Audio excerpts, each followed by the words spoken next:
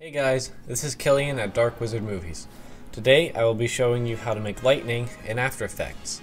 This uh, effect can be useful for numerous different projects. You can use it for intros, you can use it as a superpower, you can use it for wizards or force lightning, whatever you want. I think it looks pretty nice, and uh, so let's see the clip.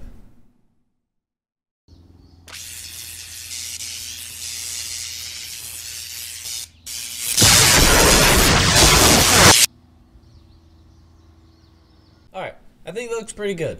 So, to start with this effect, you are going to need to come down here, go and right click, go to new, solid, it needs to be a black solid, and we will call it lightning, or whatever you want to call it, I'm going to call it lightning. And we will now turn this off, find the place in the footage where our lightning is going to start, right about there. Drag it like that. Then we will find where it's going to end in our footage, probably around here. Alright, so that is going to be the lightning itself. That's the layer that the lightning is going to be on. We will now go up to effects and presets and type in lightning. You'll see numerous different lightning options. The one we're going to use is horizontal here. We'll drag this onto our footage and we'll now turn the layer back on so you'll see the lightning up here. Alright, now, the reason I use horizontal lightning over advanced lightning is that although they are pretty much the same, uh, horizontal lightning's conductivity state starts uh, starts to move when you play the when you play the footage. So you'll see it move uh, right here. Normal lightning does not do that. You can move the conductivity state uh, manually, but it just saves us a bit of time. It's just kind of nice. Uh, so we will now go up to where it says two-way strike and change it to just strike. We will now go to core radius and change that to around 8. We will change the glow settings to be 0 because we do not want the default glow. Um, we will now drag the lightning so that it looks like it is coming out of my hand or my thumb here. Uh, Alright. And then we will change the core color to be bluish. Now this is something some people don't do and it can really make your lightning look better, so be sure you do this. Alright, now another thing uh, that some people might miss is you're going to need to composite on original here. So now the screen will be black with your lightning on it. You'll go to, you're going to right click on the layer, go to blending mode, and put it on screen.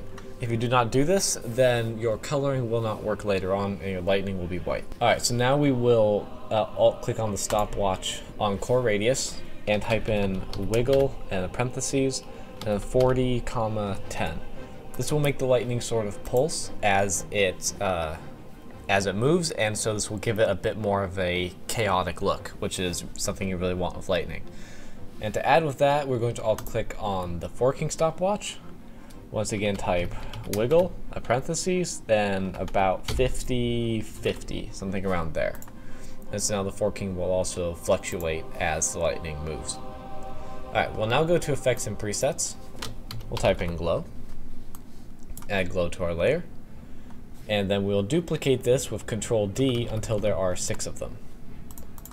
Alright, now that we have six glow layers, this is going to be how I make my glow, but you can do however you want. I'm going to change the first two to both be glow radius 1000. And then the next one is going to be about 700, then around 300, then around 100, and then lastly about 20. After you do this, we will go to Effects and Presets, go to Vector Blur, add Vector Blur to our lightning. We will now change the amount to around 8, and that will sort of give it a bit more of a glowy look so that it doesn't it looks kind of strange if you don't have vector blur on. This just sort of blends the whole thing together and makes it look more present in your image. After we have vector blur, we will go back to effects and presets, type in curves, add curves to our lightning. This will be our way of coloring it. We'll turn the alpha up a little bit, not too much. Turn the red way down, turn the green down as well, but not as much as the red. Then add some blue on top of it, and it'll make a very nice blue lightning color like that. I think that looks pretty nice. I'm going to keep it around there for now. Alright. Now we will go back up to effects and presets and add turbulent displace. Add this to our lightning. I'm going to change the amount to around 25 and then you'll click the stopwatch on evolution. Then go to the end of your lightning and spin this dial around five times. That should be good. So now the lightning has a bit of a distorted look to it. You don't have to do this, this is totally optional. Uh, I prefer for things like magic lightning or force lightning. If you're going for something like that, I think this sort of enhances the effect. Alright, so the lightning bolt itself is now completed. Now, to track the lightning bolt, you are going to need to click the stopwatches for direction and origin, and then track it by hand each frame to whatever you're tracking it to. At this point, you could also add other little bits of lightning arcing off of your hand or between your fingers or whatever, uh, and that is totally optional. You can do that if you want. Uh, I'm going to now track this lightning, and I will come back when it is finished. Alright, so I have now tracked the lightning into my footage, and this is what it looks like.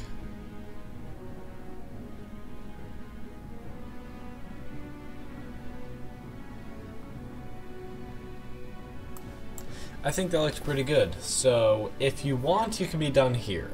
There are other things you can do, and I will show you what they are, but if you think that your lightning is good enough right now, then you can stop the video and do whatever you want with it.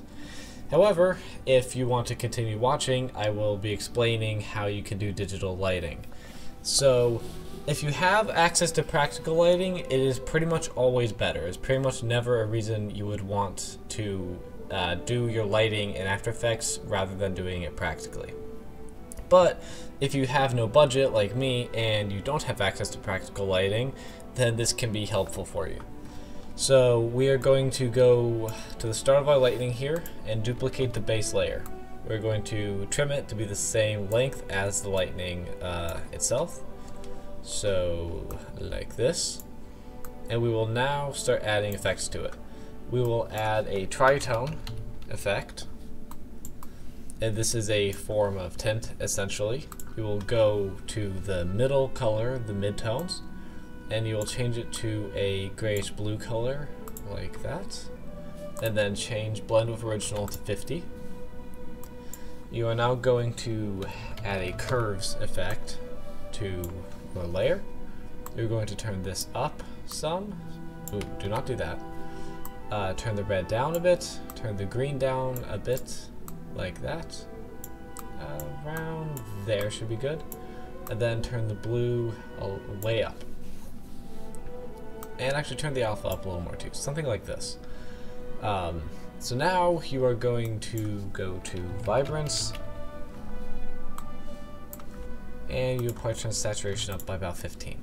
Alright, so this is obviously looks terrible at the moment, so what we're going to do is we're going to come up here, we're going to grab the pen tool, and we're going to mask out what we want to be lit. So right here is going to be my face, and put my chin in there like that around the eye. Okay, something like that. Let's expand the mask a little bit here. Okay, that, that should be good enough for now. Alright, we will now go down to the layer itself, go to masks, and then turn mask feather up to probably 90-ish. Alright, that should give it a bit more of a glow look there. Change opacity to about 70 and then we will alt click on the stopwatch of opacity, type in wiggle around 40 and 40. Let's just do 40, and let's do 40, 50. So that will give it a bit of flicker, so it'll move with the lightning, it'll flicker with the lightning. Now go to mask path, click the stopwatch there, and track it onto face. It does not have to be a good track, it can be a very sloppy track if you want. Uh, if I was really doing this for a film or something, I would probably spend more time on it, but for the purposes of this video, I can track it like this, very, very sloppy. Does not have to be super precise. I don't want my hair, so yeah, a little more like that. Like that. And yeah, it's a little strong, so let's turn the base opacity down to about 50%. Alright, and we'll see just how that looks for now. So it gives a bit of lighting onto my face, grounds the effect a little bit. Does not look as good as practical lighting would, but it's good enough uh, for this effect. So that is how I make my lightning. I hope you guys enjoyed this tutorial. Hopefully if you followed all the steps correctly, you should have something that looks kind of like my lightning. So yeah, I hope you enjoyed that. That's it for today guys, and I will see you later.